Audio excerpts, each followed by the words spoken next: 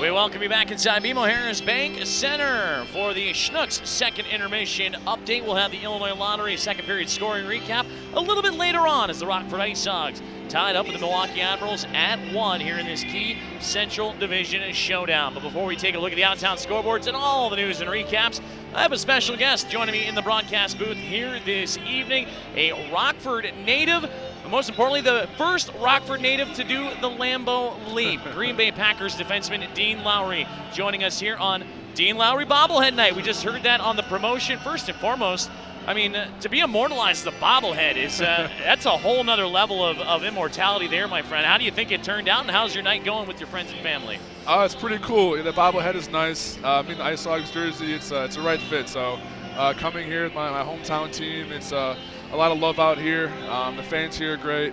A lot of uh, Packer fans in the crowd tonight too, so I see quite a few uh, 94 jerseys, so that's that's special as well. But uh, great night with the family. Um, we're all here together. Got some uh, high school friends back here as well, so just having a good time. Now, uh, I, I, look back in the schedule, and you mentioned it when we talked uh, a few weeks ago that you also did an event with the Milwaukee Admirals. So that's the uh, pretty much the hometown team and the home state team of the Green Bay Packers, if you will. But I'd imagine your loyalty lies with the Ice Hogs in this showdown, ironically enough. I'm Ice Hogs all the way, so let's go, baby. Go Hogs. Well, you mentioned you get to come home and, and enjoy the offseason. I know certainly uh, football season's ramped up a little bit, but you get to catch up with family and friends. What do you do when you come back into town? Because I know the life of a professional athlete, there's a lot of training, there's a lot of out of town uh, just visiting and seeing all the different aspects that are involved in a pro athlete's life. But when you come home, what, what do you do? How do you unwind? What does Dean Lowry do to, to plug back into his community?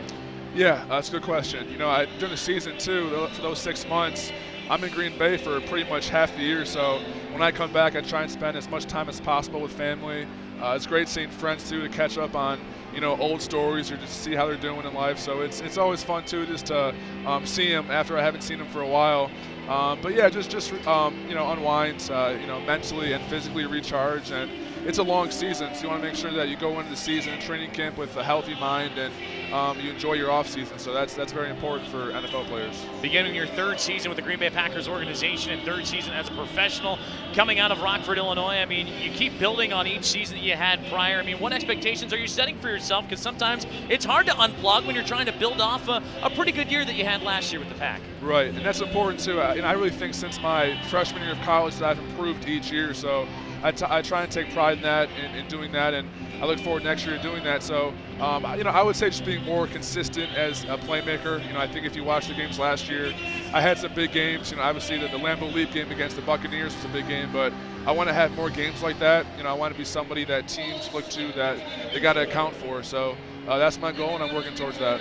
You know what it's all about to be in a, a competitive mindset, especially in the mindset of, of making a postseason push like the Rockford Ice Hogs. I mean, did you play ice uh, ice hockey as a kid? Or I mean, I know you can probably translate in the competitive nature, but I mean, how do you dive in at a time like this when you're trying to make a push like this? So I played one year of hockey um, at the Rockford at the Carlson uh, Center when I was in like second grade. So, and I had like my two like uh, front teeth knocked out as well, just from like you know losing teeth as well. So I, I looked the part too as a uh, player. So, um, but it was I, I, think it interfered with uh, with basketball, so I had to stop. But I miss it actually. It's, it's actually a very physical game, so I think it, it, kind of is similar to football in a way, just on skates. So I have a lot of respect for the guys that, that play this game because it's it's tough with being big guys and having that balance to skate so well. So you're a multi-sport guy. When did you finally say football is the path for me? I would say about sophomore year of, of high school. I thought that was my best sport going forward and my best chance to go on and play college football in the, the pros. So uh, it was a good choice.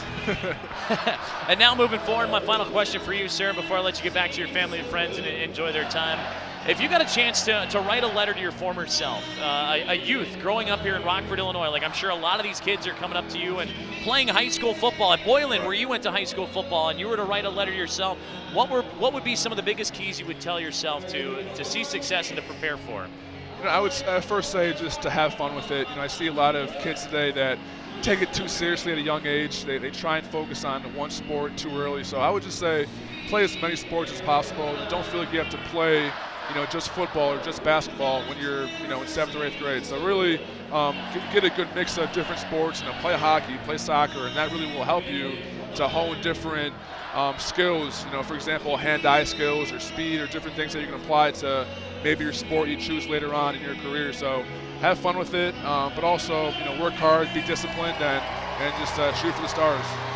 Well, Dean, I appreciate your time. Enjoy the night, what's left of it on Dean Lowry bobblehead night. Enjoy your family and friends, and most importantly, good luck this season and go Pack Go. Go Pack Go. Thank you very much.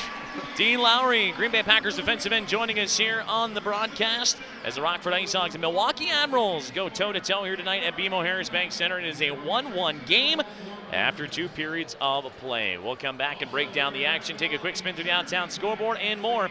You're listening and watching Rockford Ice Hogs hockey on the Ice Hogs Broadcast Network.